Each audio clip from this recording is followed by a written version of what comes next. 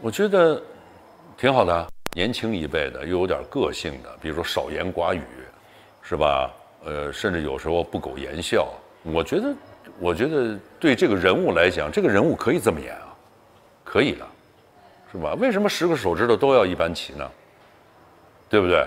所以说，你看这个电影最关键的是每一个人物都不一样，哪怕端着红裤衩洗裤衩那个，还有那个溥仪演的那个呃插科打诨什么之类的，这每个人物都不一样，这就是这个电影整个群体演员的一种成功，不一定非是每个人都要说多少句台词，有多少情节才怎么样，最关键的是准确就行。